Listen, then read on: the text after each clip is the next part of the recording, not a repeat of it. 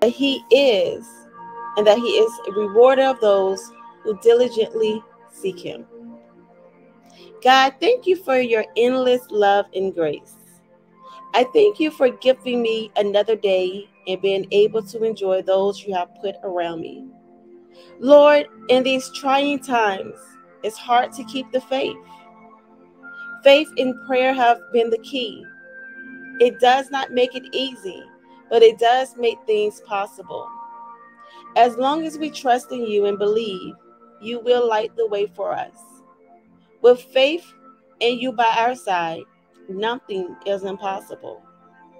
Mountains will move and strongholds will loose when we believe and have faith in you.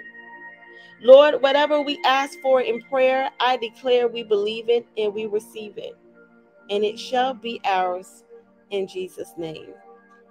We shall not lean on our own understanding and continue to trust in you with all our hearts. We will stand firm and fight the good fight of faith and fulfill the will of God to which He has bestowed on us.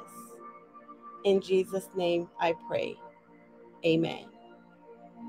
So, Lord, I touch and agree with the prayer that has gone forth before you.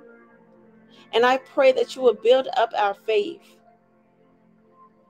For we know when we have faith the size of a mustard seed, we can move any mountain into the sea.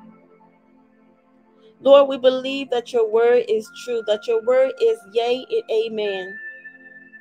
That you shall not be like man and you do not lie to us.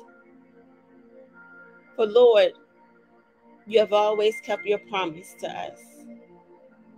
We pray, oh God, for those who are losing the faith, losing faith that their loved ones will be safe, losing faith that their finances will be blessed.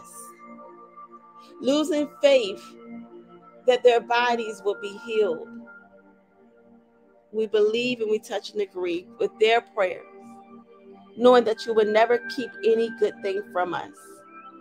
And so, Lord, we say thank you in advance for building up our faith in you, for helping us to believe again. We love you because you first loved us. In Jesus' name we pray. Amen.